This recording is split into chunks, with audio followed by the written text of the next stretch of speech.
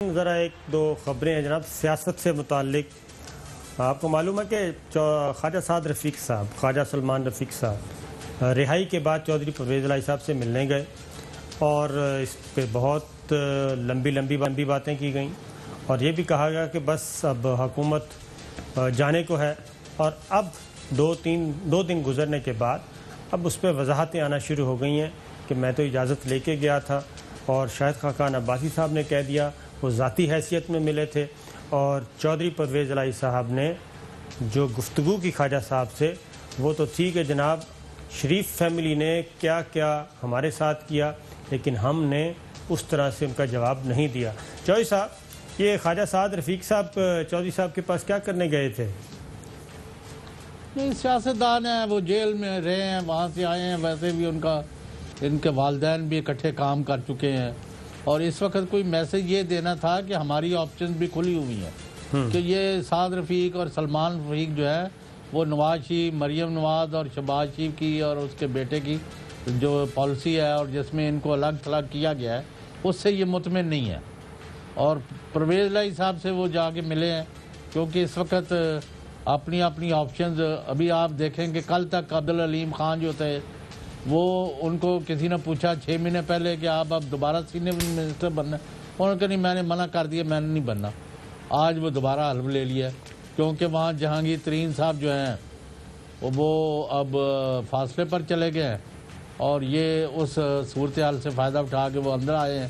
انہوں نے کہا، اگر وہ بندے آپ کے خراب کریں گے، تو میں اتنے بندے پورے رکھوں گا۔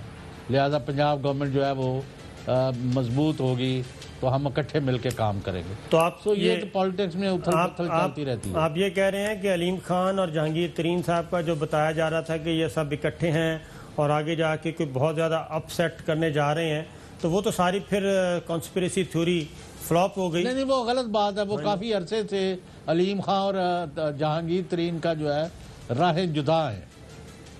تو بس پھر پیچھے کیا رہ گیا؟ تو یہ جو داستانیں امیر حمزہ جو تھی وہ پھر کیا تھی؟ نہیں وہ تو دیکھیں جی مخالف جو ہیں وہ ٹویٹر پر آپ اتنا جھوٹ اور اتنا گند بکا جاتا ہے کہ اللہ تعالیٰ کی پناہ۔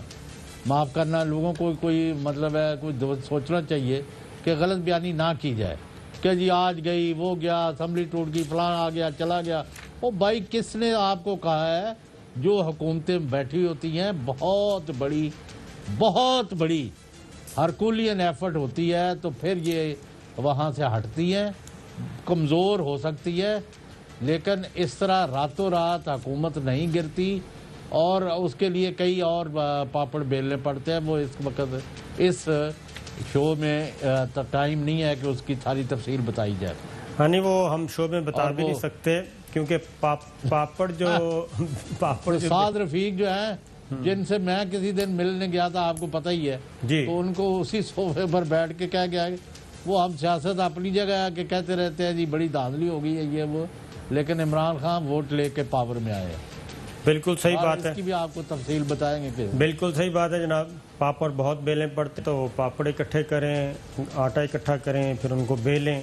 اس کے بعد ہی کچھ ہو سکے گا اس سے پہلے نہیں ہو سکتا۔ ناظرین کل پھر حاضر ہوں گے اجازت دیجیے اللہ حافظ۔